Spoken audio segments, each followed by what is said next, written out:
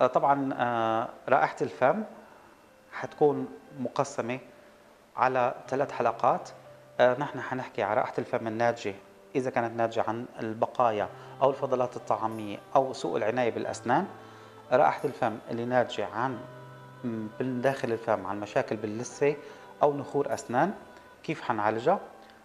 والحلقة الثالثة حتكون عن رائحة الفم اللي هي بتنتج عن المعدة آه، واللي بخربت أو المريض بفكر أحيانا أنه هي ممكن تكون مشكلة من فمه. آه، تابعونا على الحلقات آه، لنوضح بالضبط الفروقات بيناتهم وكيف كل وحدة بنقدر نعالجها ونسيطر عليها إن شاء الله. شكرا.